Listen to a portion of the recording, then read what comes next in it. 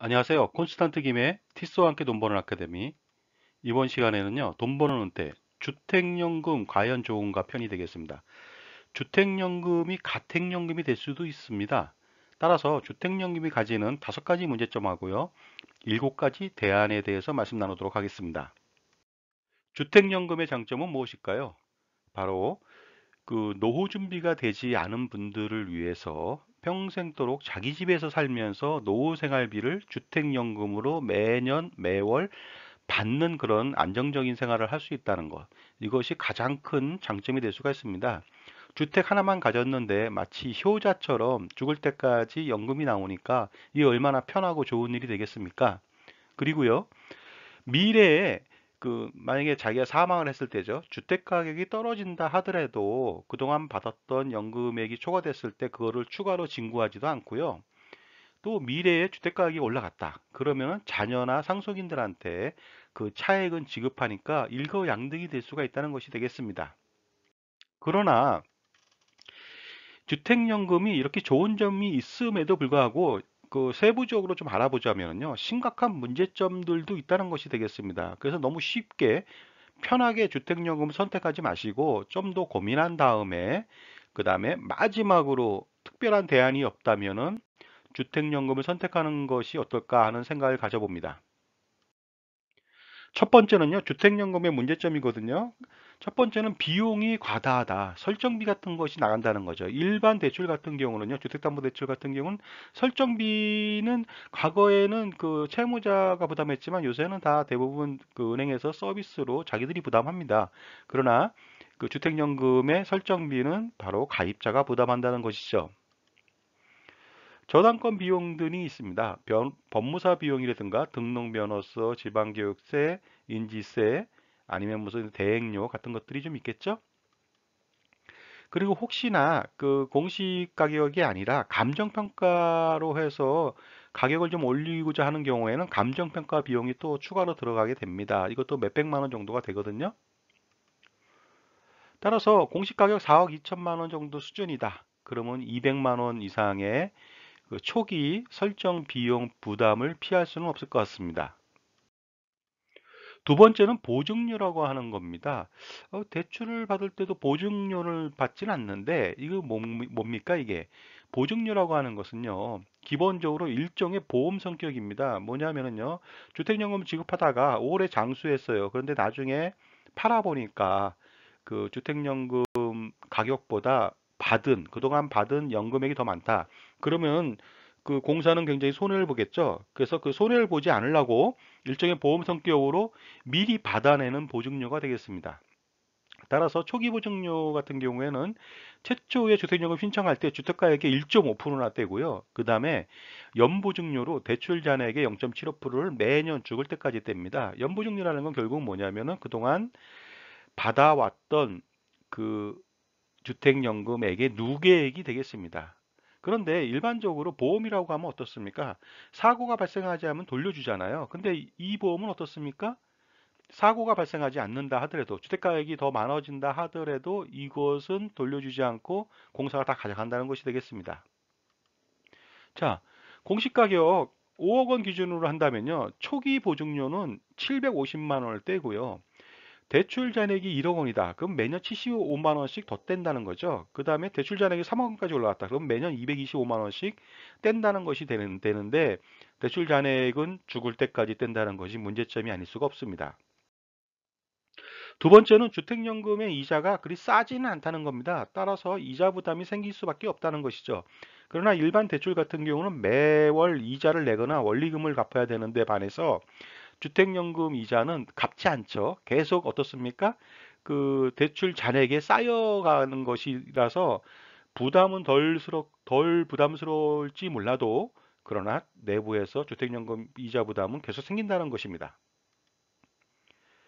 기본적으로 3개월 CD 금리 플러스 1.1% 가산금리를 해서 1.76% 내지는 아니면 무슨 코픽스 금리를 통해서 거의 1.72%를 선택할 수는 있습니다. 이것만 그 보면 굉장히 싸 보이는데요. 연보증료 0.75%를 감안해 보세요. 그 다음에 초기 보증료 또 감안해 보세요. 그러면 엄청나게 그 싸다고 말할 수는 없을 것 같고요. 거의 2.5% 이상 수준이 되다 보니까 일반 대출 이율하고도 비슷하지 않을까 하는 생각이 듭니다. 세 번째는요, 연금액이 많아 보이는데 실질적으로는 그다지 많지 않습니다. 주택가격 5억 원을 기준으로 해서 60세 종신용으로 받는다고 가정해 보면요, 월 104만 원 정도밖에 되지 않습니다. 30년간 받는다면 3억 7,404만 원을 수령할 수가 있습니다. 그 전체적으로 월 104만 원 정도라면은 뭐 딴 소득이 없다면 이거 갖고는 너무나 빠듯해서 생활하기 곤란하겠죠. 정말로 주택연금에서 노후 생활비를 전부 다 충당할 수는 없습니다. 따라서 주택연금 플러스 국민연금 플러스 개인연금 같은 것이 있어야만 가능하다고 볼 수가 있을 것 같습니다. 네 번째는요, 농지연금 같은 경우에는 농지를 담보로 해서 연금을 받지 않습니까? 근데 그 농지를 남한테 임대할 수도 있고요. 아니면은 농지를 개간해서 아, 경작을 해가지고 수입을 창출할 수가 있습니다. 그러나 주택연금은 수입 창출을 할 수가 없습니다. 임대가 불가능합니다. 전세 및 월세 불가능합니다. 만약에 월세인 경우에 보증금 없는 일부 월세인 경우만 가능하다고 되어 있는데 이것은 실효성이 없는 내용이 되겠습니다. 월세 들어온 사람한테 보증금 없이 월세만 받는다? 굉장히 좀 실효성이 없다고 볼 수가 있겠죠. 따라서 임대가 불가능하다. 추가적인 전세나 월세로 인한 수입 창출이 불가하다는 것이 가장 큰 문제점 중에 하나일 수가 있습니다. 주택 공시가격 5억 원 기준으로 했을 때 뭐 시가는 그보다 뭐 7억, 8억이 될 수 있으니까 전세가 4억 원이라고 가정해 보고요. 월세가 0.5억 원, 5천만 원에 73만 원 정도를 받을 수도 있었습니다. 전세 4억 원 내지는 월세 5천만 원에 73만 원. 근데 이 비용을 날리게 된다는 것이 되겠습니다. 주택 그 주택연금의 가장 큰 문제점 중에 하나, 하나인데요. 수입 창출을 만약에 한다면 주택을 지키는 유일한 길이 될 수가 있지만 수입 창출을 못한다. 그러면 재살 깎아먹기 식으로 자기 집에 살면서 계속 자기 주택을 갉아먹는 그런 형국이 될 수가 있습니다. 가장 중요하다고 할 수 있어요. 제방 규제 사항들이 있거든요. 이것은 뭐냐면요. 부부가 모두 주민등록 이전을 해야 됩니다. 해당 주택에. 그리고요, 1년 이상 미거주 된다면은 뭐 연금 지급 중지 사유가 될 수가 있습니다. 주택의 소유권을 상실한다. 중간에 매각할 수도 있잖아요. 아니면 화재가 나서 전소될 수도 있습니다. 이럴 때는 연금 지급 중지가 된다는 것이 되겠습니다.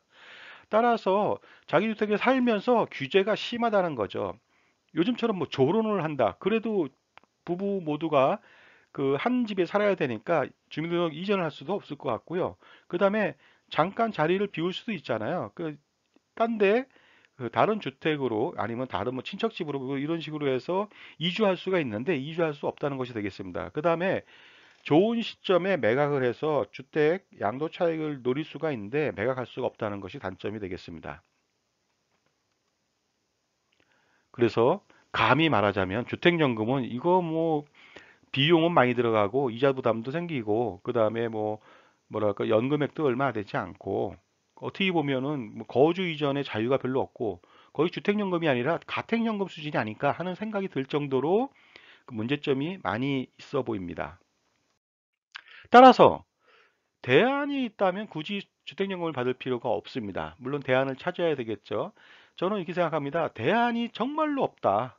그러면은 주택연금이 대안이 될 수가 있습니다. 하지만 여러 대안들이 많이 있더라. 그런데도 불구하고 주택연금을 선택한다는 것은 어리석은 일이 될 수가 있다는 것을 저는 알 수 있다는 것입니다.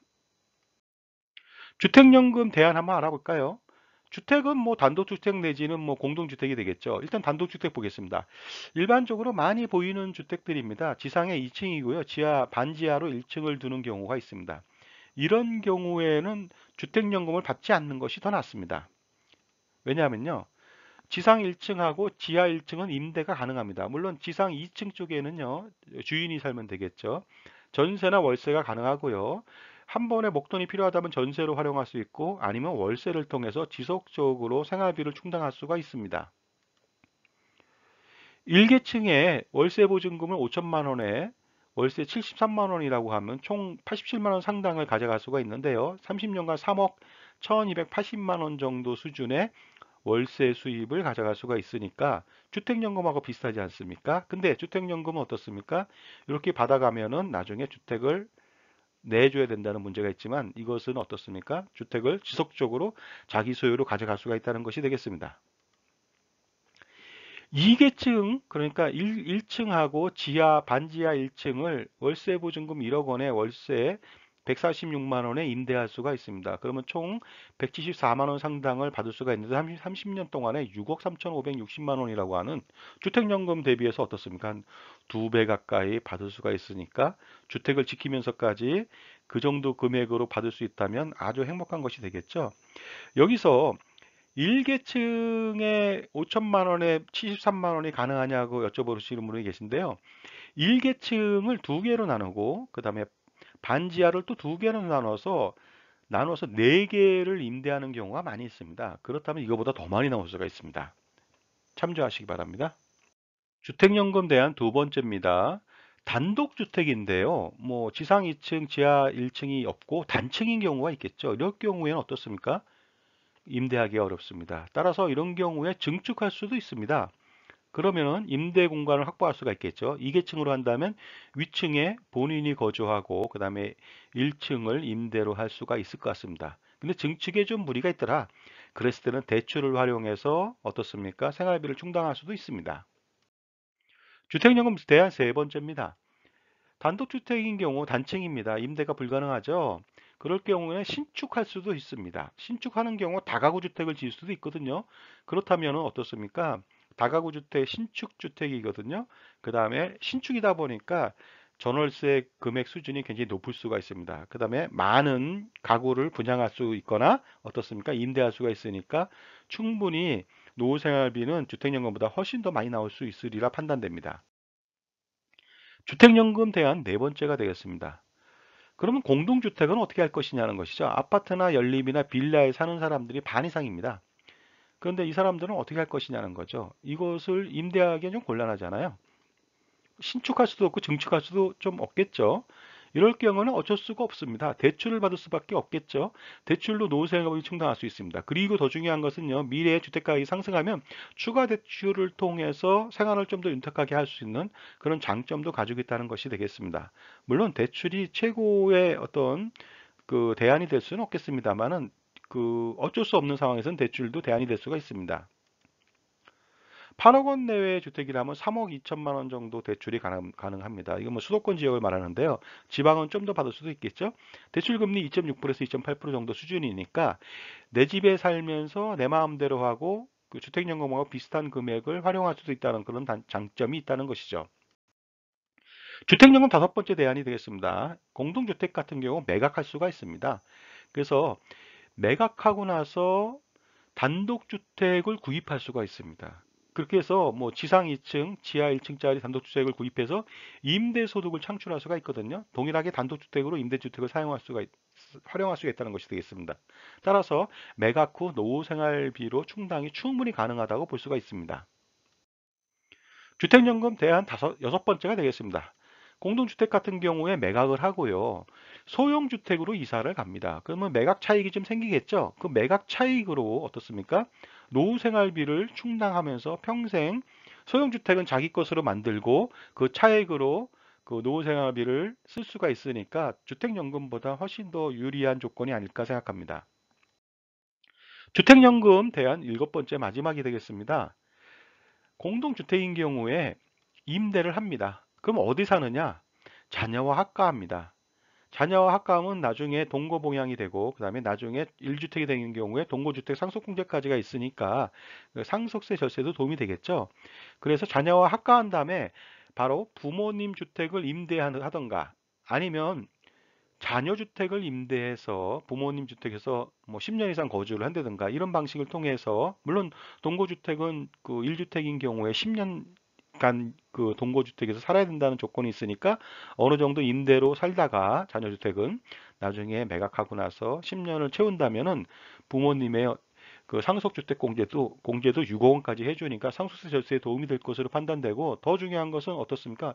효도 봉양이 되지 않겠습니까? 그래서 물론 이제 뭐 각자 사는 부분들이 있어가지고 그 독립된 생활을 추구하는 사람들도 있겠으나 만약에 그렇지 않다면 이런 방법도 마지막 대안이 될 수가 있다는 것을 알아두시면 좋겠습니다. 자, 지금까지요. 주택연금의 문제점 다섯 가지 하고 대안 일곱 가지를 살펴봤는데요. 대안이 없다면 주택연금은 최후의 수단이 되어야 되는 것은 맞는 것 같습니다. 왜냐하면 뭐 별다른 도리가 없겠죠. 하지만 대안이 일곱 개나 있다. 그러면 그 중에서 알맞은 대안을 선택해서 실행한다면 주택연금보다 훨씬 더 유리하게 노후 생활을 할 수가 있고 그 다음에 상속인들, 가족 있죠? 자녀나 배우자한테 주택을 남겨줄 수도 있습니다. 자, 오늘은요, 주택연금의 문제점하고 대안에 대해서 알아봤습니다. 감사합니다.